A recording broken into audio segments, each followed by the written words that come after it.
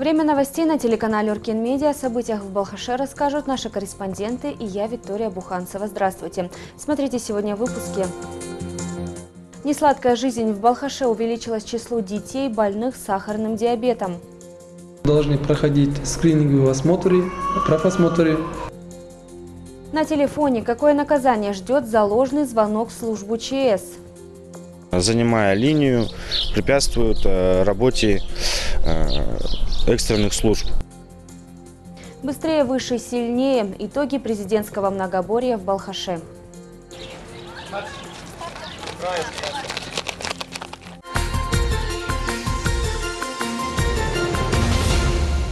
Около 20 вызовов, не связанных с происшествиями, ежедневно поступает на пульт спасателей. Большинство из них – детская шалость. Специалисты предупреждают, за ложный вызов можно получить штраф. Вызвать спасателей можно по номерам 101 и 112. Дозвониться можно по четырем линиям. Часто они бывают заняты из-за детского баловства. Ежедневно на пульт ЧС поступает от 10 до 20 звонков от маленьких жителей города, которые таким образом играют. Спасатели предупреждают, за ложный вызов можно получить штраф больше 30 35 тысяч тенге. Кроме того, без помощи может остаться человек, который действительно в ней нуждается. Дети, играя с, телефон, с сотовыми телефонами, э, набирая экстренные службы 101-112, попадая на телефон, э, занимая линию, препятствуют э, работе э, экстренных служб. Хотелось бы обратиться именно к родителям э, детей, чтобы обращали особое внимание, чтобы дети не допускали и не совершали именно ложных звонков и хулиганства с телефоном на линию 112. В Балхаше у четверых детей с начала года выявили сахарный диабет. Количество заболевших возросло по сравнению с прошлым годом. Всего в городе с данным диагнозом на учете состоят больше 20 маленьких пациентов. Медики призывают проходить ежегодные профилактические и скрининговые осмотры. С начала 2018 на учете по сахарному диабету первично состоят четверо детей. Возраст пациентов разный до 6 лет. Заболевания у них обнаружили при прохождении профосмотра. Основными симптомами болезни у детей являются постоянная жажда, быстрая утомляемость и снижение веса по сравнению со сверстниками. Кроме того, еще у четверых балхашских детей медики обнаружили редкие заболевания. Это ювенильный артрит, болезни желудочно-кишечного тракта и поражающие соединительные ткани. Все они получают препараты в рамках объема бесплатной медицинской помощи. Дети от рождения до 6 лет ежегодно должны проходить скрининговые осмотры, профосмотры, сдавать анализы, э, чтобы для выявления ранней стадии заболевания. Кроме этого, в нашей поликлинике еще работает кабинет здорового ребенка, школа будущих мам и планирую семей. Завтра в Балхаш приедут специалисты областного центра крови. Желающие смогут стать донорами, а взамен получат денежное вознаграждение и освобождение на день от работы. Последний раз медики из области приезжали в Балхаш около года назад. Тогда донорами стали 70 человек. В этот раз принимать будут также в центральной больнице с 9 утра до 5 вечера. Желающим нужно подготовиться заранее. Накануне вечером не есть жирное, острое, копченое, не куриное курить за час до сдачи, меньше чем за трое суток не принимать анальгетики и аспирин, не пить алкоголь за два дня до прихода к медикам. Сдавать кровь следует натощак. Люди, которые болели или болеют, скажем, а, гепатитом форма Б, С, люди, которые страдают ВИЧ-инфекцией, еще у нас люди, которые этот, кожно-венеральным заболеванием тоже, которые болеют, болели раньше в детстве, тоже они не могут быть донорами. Автодорогу Балхаш-Караганда отремонтируют. Работы будут проводить поэтапно до 2020 года. Уже подписали договор о начале реализации проекта. Реконструкцию произведут на участке трассы протяженностью в 363 километра. Дорога имеет республиканское значение и считается одной из основных магистралей в сети Карагандинской области.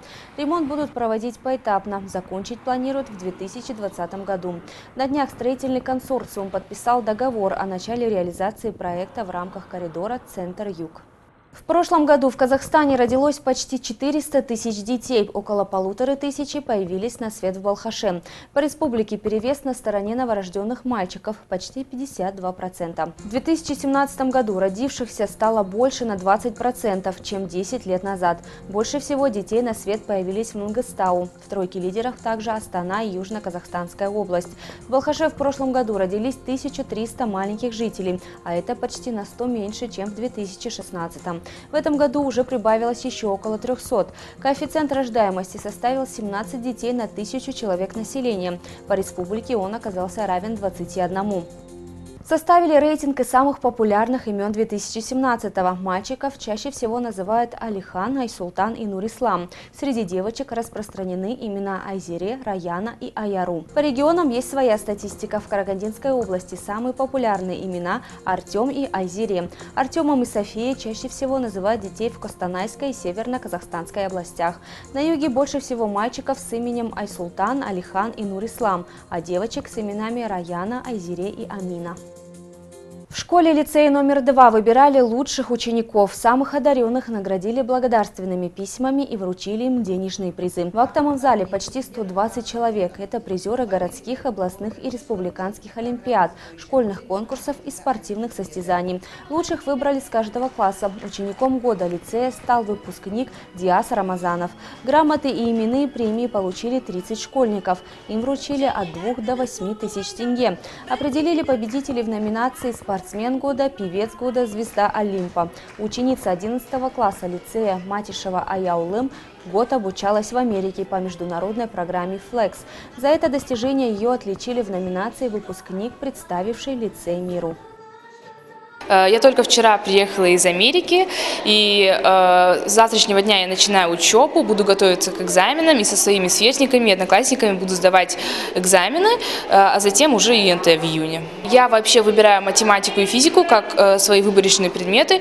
Сегодня завершились летние президентские игры по многоборью. Два дня школьники города прыгали в длину, стреляли из пневматической винтовки и метали гранаты. Сегодня спортсмены бегали на дистанции от 60 метров до 3 километров. Результаты соревнований, эмоции участников смотрите в следующей зарисовке.